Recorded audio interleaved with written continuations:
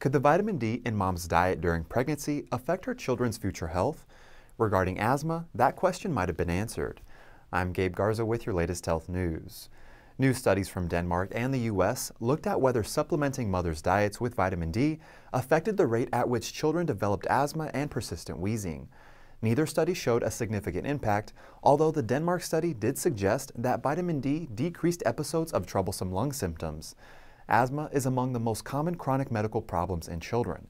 Vitamin D deficiency is also common in Western society, possibly due to the lack of exposure to sunshine and low vitamin D in the diet.